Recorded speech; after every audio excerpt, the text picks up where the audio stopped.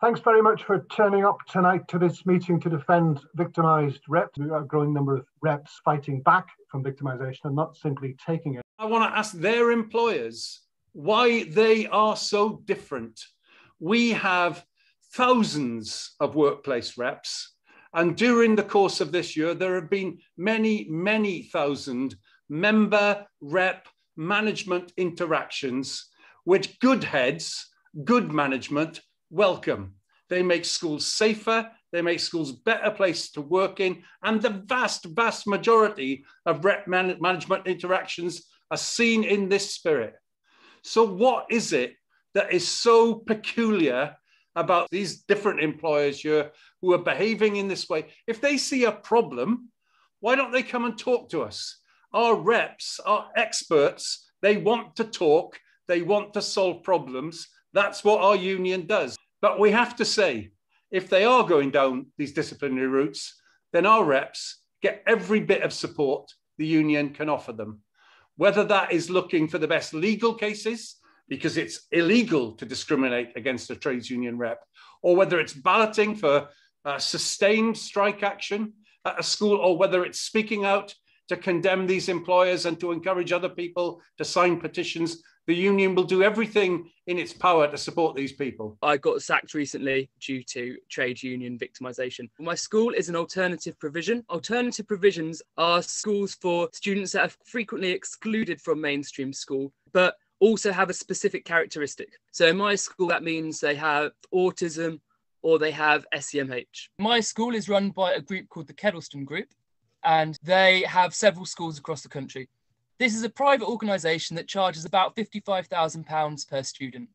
And we felt like the quality of education was not high enough from our employer.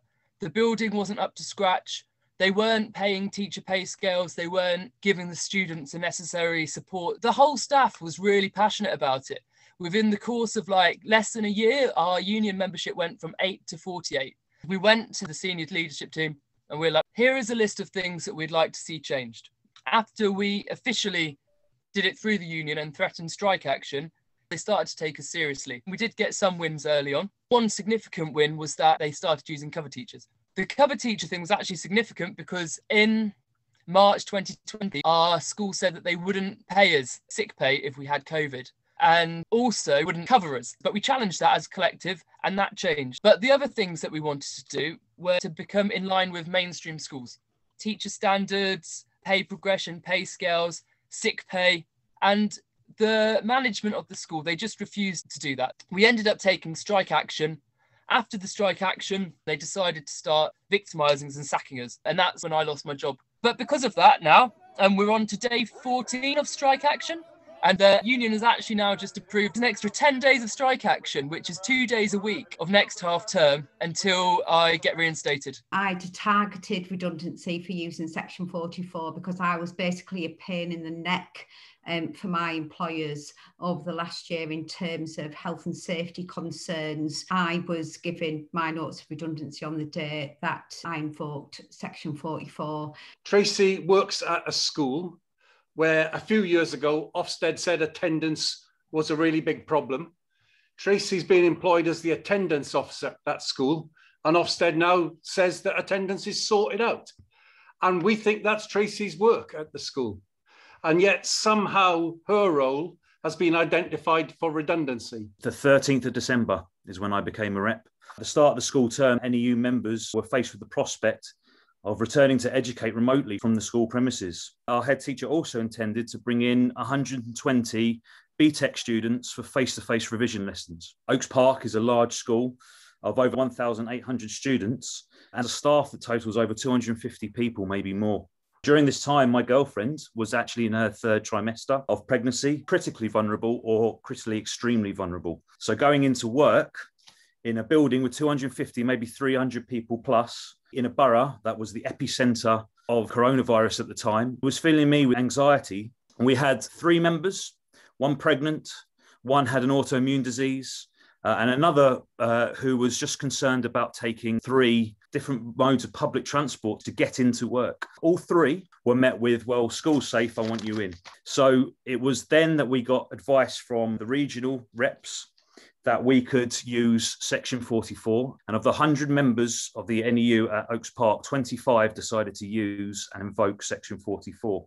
What followed, I can only describe as a campaign of intimidation and aggression. Members were reporting many, many phone calls while they were online teaching at home, saying, like, you are in breach of contract. We are considering this to be an unauthorized absence. We held firm. The region agreed to be balloted for strike action in support of Oaks Park. And as far as we were concerned, that was the end of it.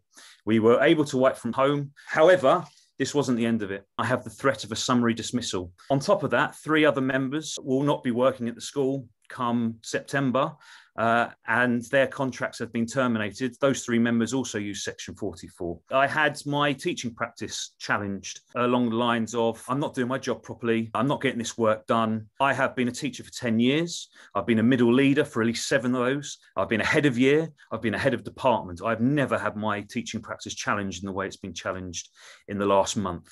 I was then asked to come into a, to a meeting uh, a line management meeting, but they insisted it was done face to face. Bearing in mind we were still in a national lockdown. At this point, my girlfriend was still in her third trimester. And by the end of that meeting, this SLT manager sent me an email to uh, question whether or not I was able to continue with my TLR role and I should take a long, hard look about whether I should continue. I am scared. I'm worried. My child has now been born. He is three weeks old. Not only has my uh, child being put in danger when during section 44 but now the, the, the food is being taken from that person's mouth with this threat.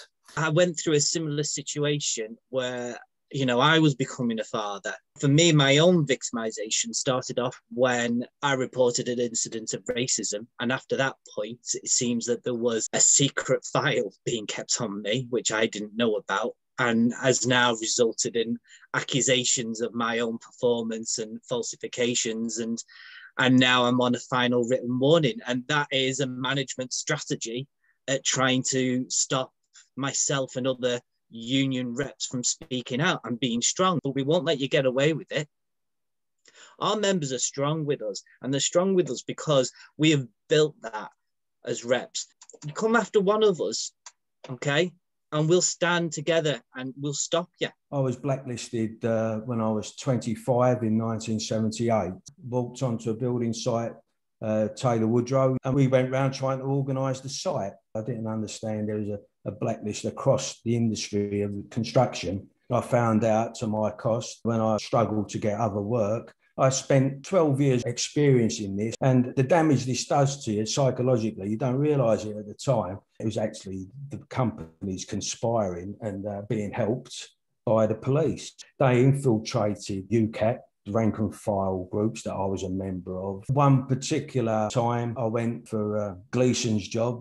The foreman gave me the job. He said, just wait there, we just got to check you out. He came back half an hour later and said, Sorry, boy, I won't let you start. He says, Your name don't check out. I got active in the Labour Party and became a councillor. And Gleeson's, who had refused me work, uh, came to renew their uh, contract and uh, we refused them. So they blacklisted me and I blacklisted them back. What unions need to do is they need to be brave and they need to step up and the need to defend the members. We've been defending our members and our communities, and we will continue to stick together and we will continue to work with other unions and stand together with other reps that have been victimised. I've no idea why management has sacked me. Maybe that's two of the facts that I've made their mind up somewhere down the line. I'm from an Irish background. There's been loads of anti-Irish racism spread through Facebook, social media.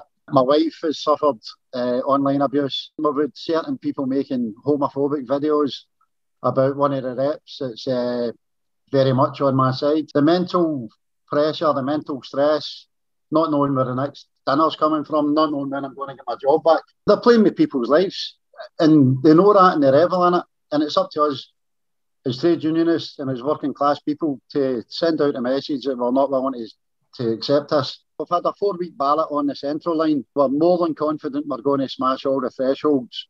I was dismissed by my employer on the 26th of February. This all revolves around the, the striking of a railway bridge by one of our buses in late October.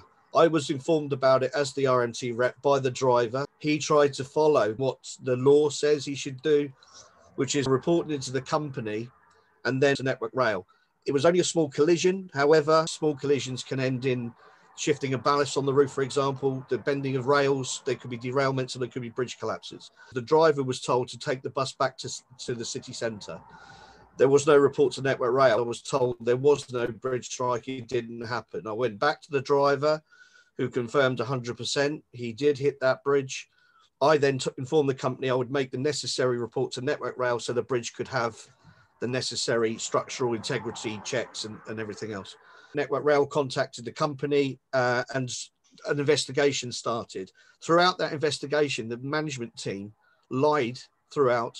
It'd never been struck. No one had ever reported it before. We found 14 other drivers who said they'd reported the same incident with the same bus with the same bridge. It turns out the bus sat a little bit higher than the others. After that, I was dismissed for four different reasons bringing the company into disrepute, I had made a false and malicious telephone call to Network Rail. I had affected their ability to attract new commercial business. And the last reason has been my call to Network Rail could have lost their operator's license. Other reps have been threatened as well. We are now balloting for strike action. While I was dismissed, a driver approached me to say that he had a wheel hub fire while driving a bus. He extinguished that fire using an onboard fire extinguisher. The following day, he was brought in for the investigation. He was told by the managers the fire did not happen. He was then threatened and intimidated not to say anything. So many people who've spoken here tonight are, in, are, are being victimized because they've raised safety concerns, whether that's the construction industry, whether that's the transport industry like yourselves, or whether that's the spread of COVID through schools. It's, it's safety that people are being picked on for. The profit motive is the main driving force for all of this. And it's, um, to me, it's exactly why we are being targeted. Um, profit is under threat because of health and safety. I fully see these attacks on trade union representatives as a, a clearing of the ground by these employers. I think they're looking at the reps who are in place, the people who will cause them uh, a bit of an obstacle. I think we need to go cross trade union. We in the RMT will stand shoulder to shoulder with every rep in any union that's being attacked. This bullying and harassment, to be honest, has been going on for a long time been going on for a long time in a lot of our workplaces. And what's happening now is we're not we're not tolerating it. They've used the pandemic to go for us, and we we have decided and said very clearly we're not tolerating it. We will not be silenced. Kirsty's a rep at a school who wrote on a union blog a criticism of the use of the lateral flow tests as an alternative to close contact isolation. Absolutely right to raise that question but has had a charge of gross misconduct laid against her. Members in my school have voted to go on strike, but with a very, very heavy heart. What teacher or support staff would want to shut a school after everything our students have been through? But again, we won't be intimidated, and the ball is always in their court. They cause the problem by not looking after our health and safety. They cause the problem by cutting corners. They are the ones that need to look into their hearts and souls and ask, is this the right way to treat other human beings? And I would say no. We're not going away. We're tenacious, we're determined, we're meticulous, we're caring, and we look after each other. Solidarity forever. If your rep's being victimized, behave like it's you, because it is you. And not only in your workplace, behave like it's you, but in the whole union, behave like it's you. If the rep goes, you're all in trouble. And if enough reps go, the whole union's in trouble. So just as you'd say COVID, behave as if you've got it, victimized reps, behave like it's all of us and stay part of this campaign.